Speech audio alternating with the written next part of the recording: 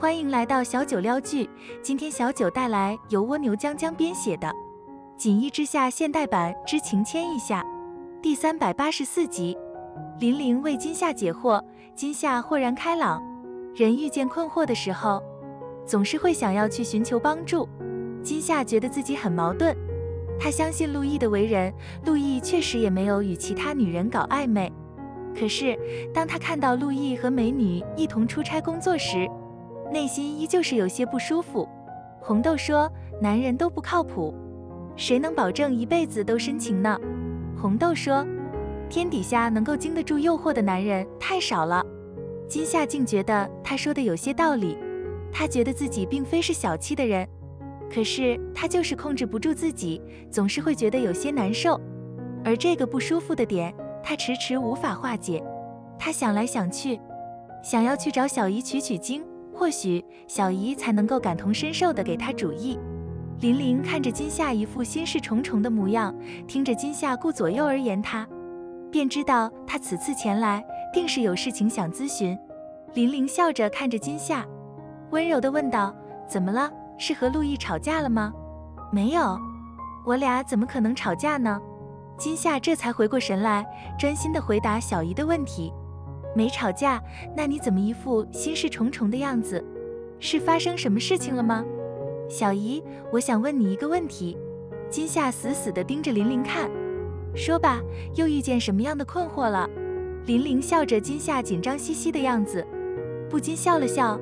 其实不用金夏说，她大概也猜到了，定是和陆毅有关的，要不然，什么事情能够难倒这个天生乐观的丫头呢？小姨夫工作的时候，身边总是会有很多美女。现在他又投资影视，身边又有很多漂亮的女明星，你心里会不舒服吗？会担心吗？会吃醋吗？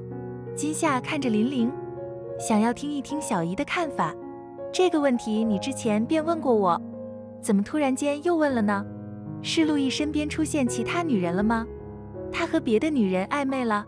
林玲没有立刻回答金夏的问题，而是反问他：“不是，他没有和别的女人搞暧昧，只是公司新招聘来一个董秘，天天和陆毅一起办公，两个人偶尔还要一起出差，我心里就有些不舒服。”金夏没有隐瞒林玲，如实的回复道：“这倒是不像你的性格了。”林玲轻轻笑了笑：“小姨，你说我是不是很小心眼？”我也觉得这不是我的性格，可是我感觉我控制不住我的内心呢。你呀，还是太小了，太在意陆毅了。林玲看着金夏矛盾的小样子，不禁笑了笑。她呀，终究还是小女孩的性子。小姨，你相信小姨夫能够经得住诱惑吗？我不相信。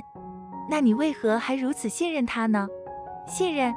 金夏，在婚姻之中。我们要用眼睛去看，用耳朵去听，用心去感受。男人的心会变，我们的感受也要随之而改变。他们若能始终如一，最好不过；若是不能，只能说缘分已尽。婚姻也是要讲究缘分的。玲玲看金夏一副似懂非懂的模样，继续道：“陆毅身边出现美女，你心里有些不舒服，可能也与陆毅有关。他的朋友、同事、合作伙伴。”几乎都是男人，你从来没有过危机感。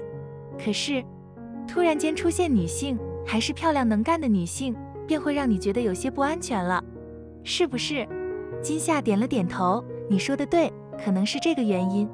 他身边几乎都没有异性，突然间出现这样能干的女性，确实让我有些吃味。其实她漂亮不漂亮，我倒是不在意，因为陆毅不是喜欢美女的肤浅男人，我觉得。让我在意的是他很能干，工作能力强。我当年就是因为工作能力强，才让他刮目相看的。林玲笑了笑，你要学会习惯。他今后工作上还会遇见各种各样的能干的女同事、女合作伙伴、女顾客的，你总不能一直都闷闷不乐吧？其实你换位思考一下，你身边就没有男同事、男性朋友吗？你和其他男人一同出国留学两年，他不也没有疑神疑鬼吗？所以你要学会换位思考，你要学会适应。金夏点了点头，你这样一说，我倒是心里舒服很多。也是，我身边也有很多男同事的，他从来都没有说什么。林玲道：“对啊，就是这个道理。男人要是想要沾花惹草，你是防不住的。人生就这样长，若是在防备之中度过，那岂不是太悲哀了？”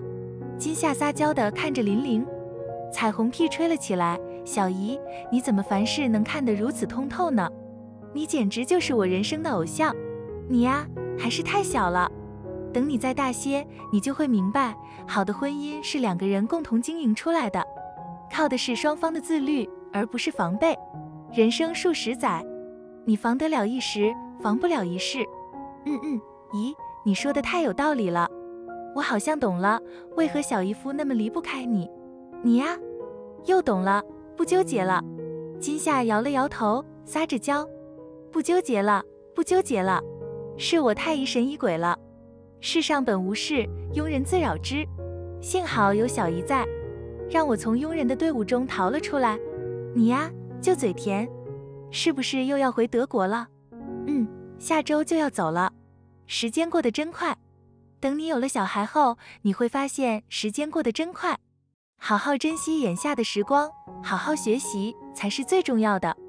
嗯嗯，我会的，不会让小姨失望的。你从来没有让我失望过。和小姨喝着下午茶，聊着天，金夏只觉得豁然开朗，整个人都精神爽朗起来。